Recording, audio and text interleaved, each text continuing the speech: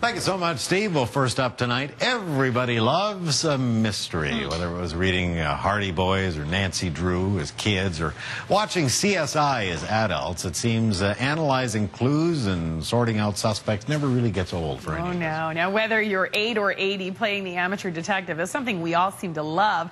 And this love of a good mystery is hardly new. Need proof? One of the hottest detectives around is nearly 130 years old. Oh, it's true. His name is Sherlock Holmes. He's the subject of a brand new interactive experience in our region.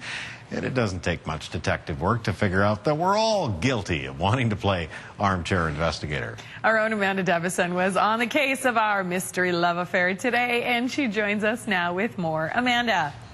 Well, Bruce and Maria, the man who was never born, never seems to die. Sherlock Holmes is a classic character who's appeared in novels, movies, and television shows. And every time, his personality and intelligence just mystifies us. What is it about it that is a mystery, no, mystery, no matter how many times we try to solve it? We're always hungry for more. And we tried to solve that mystery today. How I ever came to write the Sherlock Holmes stories. Since Scottish author and physician Sir Arthur Conan Doyle oh, brought the fictional detective Sherlock Holmes to life in the late 19th century, he's fascinated us. Now, tell us quietly and slowly who you are and what it is that you want. Whether it's Jeremy Brett in the 80s, There isn't any time to waste then. Robert Downey Jr. on film,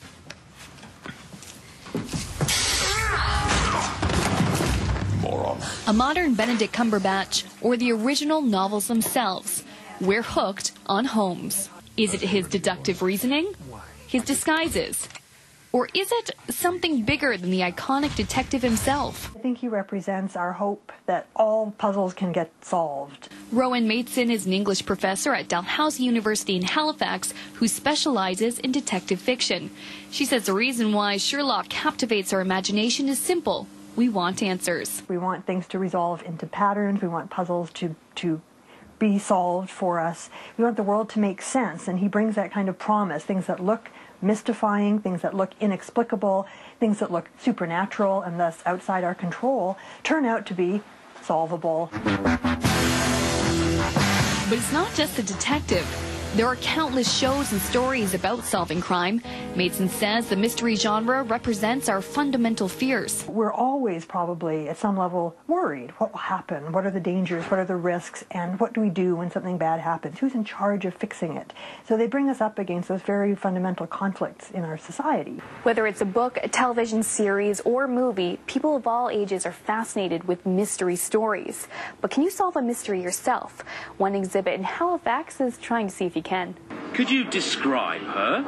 At the Discovery Centre, you step back in time to Victorian London, where a new murder mystery has you wearing the famed detective's deerstalker cap. It's reading intensive. It's made up of uh, eight different chapters.